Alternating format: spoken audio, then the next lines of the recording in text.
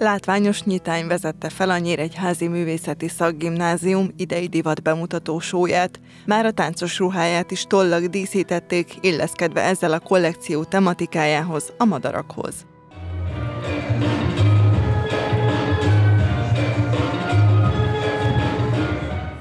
Már nyári feladatként is motivumokat kellett gyűjteniük a diákoknak, hogy aztán a madaraktól elvonatkoztatva, de azok forma és színvilágát megtartva megalkossák a kollekciót.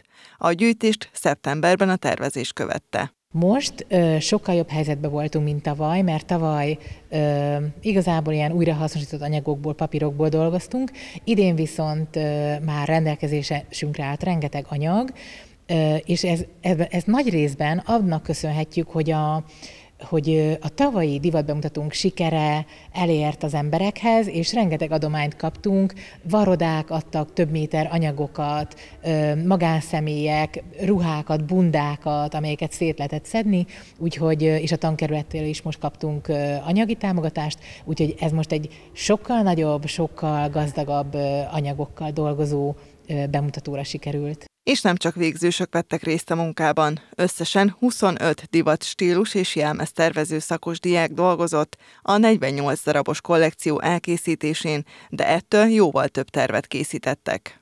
Nálam a Bóbitás szajkó volt, amit, amit választottam, és arra készítettem három tervet.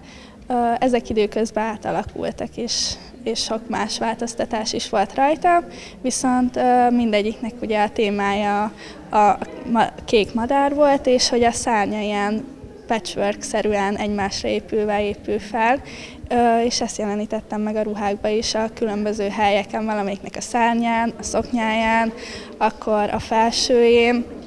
Ugye a madárnak a, a teteje az ilyen és nem tudom, az egekben nyúló, és az jelenik meg a, a kapucnis ruhámon is, és ennek az ilyen bevágdosásai vagy megredőzései jelennek meg szintén az egyik szoknyán, akkor a másiknak az ujján. Ezeket a ruhákat pedig szívesen és büszkén viselték a modellek.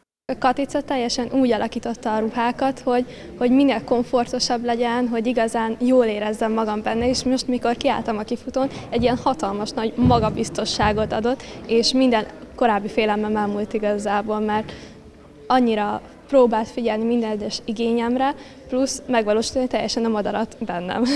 Volt, aki a boldogság kék madara helyett egy exotikusabb fajtát választott, a tukánt.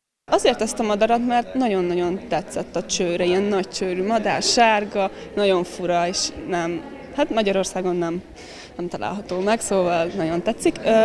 A ruhákon próbáltam színeiben is megvalósítani, illetve van egy mellény itt mögöttem, amin látszódik maga a madár.